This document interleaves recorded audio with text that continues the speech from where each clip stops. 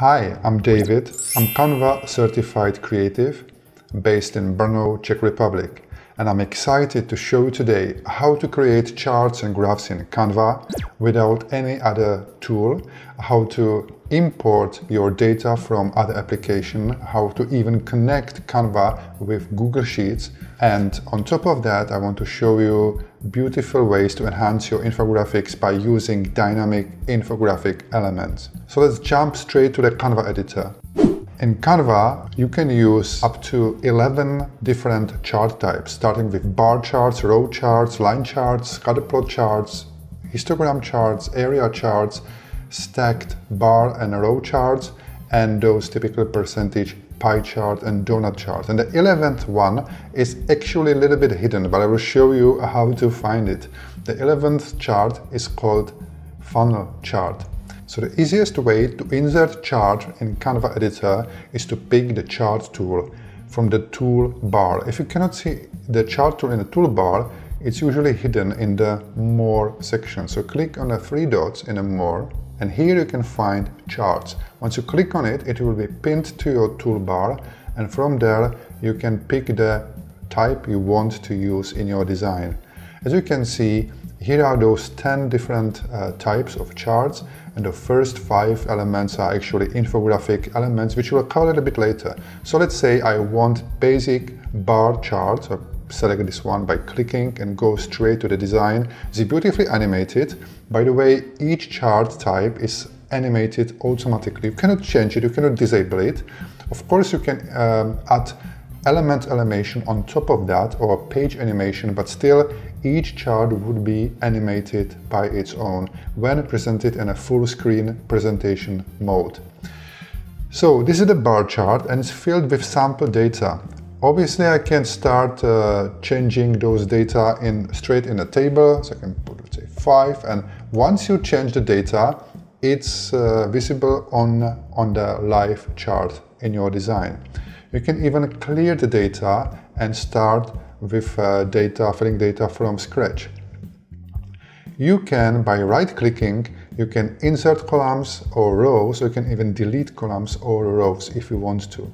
Now let's say you have your data somewhere else, let's say in Google Sheets, and you don't have to type it again if it's available in any spreadsheet would it be Microsoft Excel, Google Sheet, it doesn't matter. So I will just switch to uh, Google Sheet and say I want this data range copied to Canva. So I will select it, Control C or Command C, go back to Canva and here in the bottom section of this chart edit area where it says paste data from spreadsheet, I just click on it and put Control V on Windows, Command V on Mac and immediately those data are filled correctly into the table and chart is reflecting these data. Now, there is a settings tab and I can do a little bit some tweaks. I can show labels, I can switch off labels and keep the labels on. I can hide grids and ticks from the chart by like this. And in some cases, when I want to change rows and columns for data, I can do it here as well. Now, once the chart is in my design, it's working like any other element in Canva. That means I can change colors. Let's say I can put a different color of the chart. I can resize it. And when I pull the um, handles on the left and right side, it's like, it's like a stretching to the sides or to the top and bottom. So I can actually make the chart looking exactly the way and proportion I want. You can even apply transparency in a chart. So as I said, it's working the same way like any other element.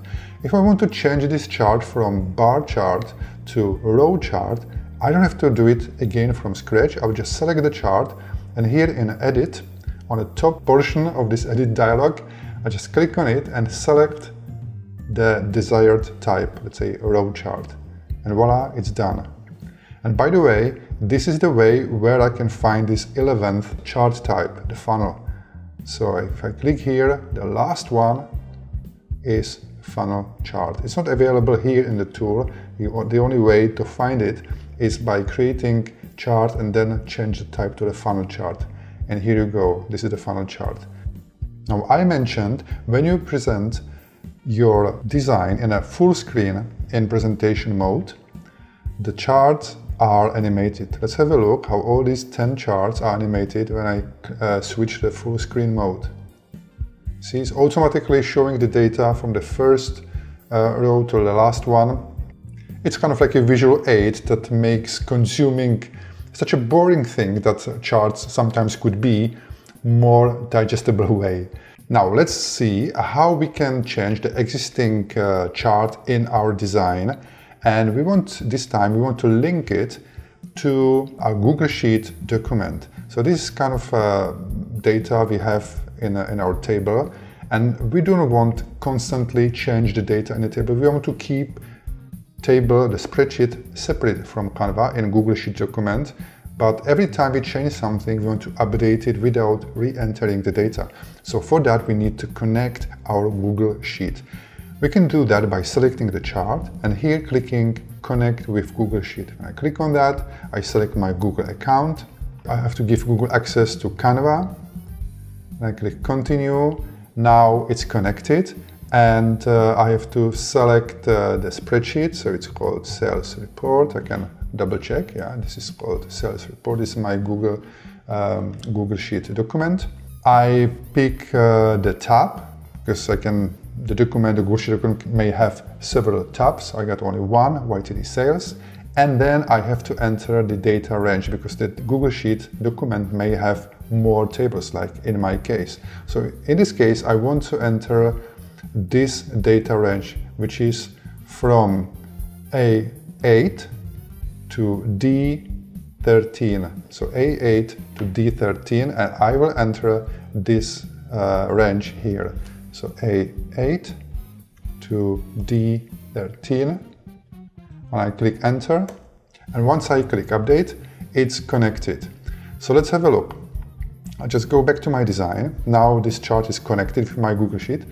I go back to Google Sheet and let's change uh, let's say this name from sugar free to sugar only. And let's change some numbers. Let's say the first one, so it should be visible from zero. Let's put 15. Right, so I changed that in a Google Sheet document, going back to Canva.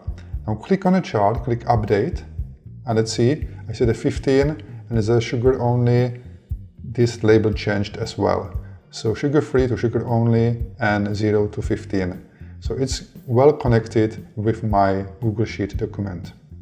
Now, in this another example, let's say I want to change the type of the pie chart to more beautiful, let's say donut chart. So I just click on a pie chart and here in the menu, instead of pie chart, I just click donut chart and see it's immediately changed. So I can keep that in my design and only change the type of chart. Now let's move to infographics. Canva has five dynamic elements that helps you build infographics very fast and in a very beautiful way. And again, you can find those in charts and these are the first five elements in the chart tool. The first one is a progress ring, then you have a progress bar, there's a radial progress and progress dial and pictograms like, like here. And these are dynamic. What I mean by this, when you click on that element, instead of spreadsheet with data, with numbers, you actually change percentage and the appearance of the design, like, like a line weight, how thick this element should be and you may or may not switch on or off percentage label and control the endings of the endpoints if it's like rounded or if it's like rectangular. So let's have a look. If I want to change this progress bar like this from 0% to 100%, you move the slider or you can even type very specific value, let's say 57, and that's done. You can change line weight. Of course, you can change colors any way you want. You can show the percentage or disable and you can change the rounded endpoints into rectangle one. Same way it's working progress ring. See, it's very, very addictive actually to move it here the percentage is inside. And by the way, once this chart is selected, you can change the type of the font inside these infographic elements simply by changing the font, let's say to now bold. I can, I can make it a bit smaller. I can change even the color of the font, let's say to the red. See, you can customize it the way you want. Radial, it works like this, when a zero is like on the left hand side and full gauge, actually full 100% uh, is on the right hand side. That's the portion of the percentage. And the last one, the progress dial, works similar way, but instead of the percentage number, there's a kind of like a dial that is moving from zeros, like a tank fuel, tank gauge, uh, and like in the cars. And the last one, the pictogram, is actually very, very beautiful. You, when you click on it, you select the icon you want to use in, uh, in infographics, and then you choose the total number, total items, and how many items should be filled. So it doesn't need to be necessarily 100. It can be, let's say, 3 out of 5. You can type 5 as a total, 3 is a field, and you can control spacing between those, uh, those elements. If you want to change this uh, icon to a different one, let's say to, uh, to, to drops, just select different icon. And of course, you can change color here as well. It's completely customizable. Now, in this another example, I may have a slide like this, 28 cars out of the total 49 are red. So it's nice to have this kind of like a sentence on the slide, but it would be much more beautiful and usable for audience to visualize this sentence. So how can we do it?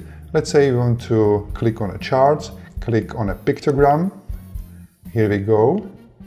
We select, because we're speaking about the cars, so let's select cars. Let's select, because we speak about the red color, I can put a red color here. And um, when I click on this pictogram, I say the total was 49 and uh, 28 are red, so 28 are filled, and this is it. And now we can again style it, we can resize it the way we want, we can make it a little bit uh, more consistent. When we are here now that the total numbers is aligned with the, with the shape, but here you go. So this is much more useful visual information that we can use in the slides. And so this is it. I hope that you know how to build charts from scratch by now, how to import data from other applications, how to even connect Google Sheets with Canva. And I hope that you are excited about the infographic elements the way I am, and you will use them in your designs. Thank you very much for watching. If you want to connect with me, this is my Facebook and Instagram account. I'm uh, looking forward to see your comments or questions beneath the video and hopefully see you next time. Take care.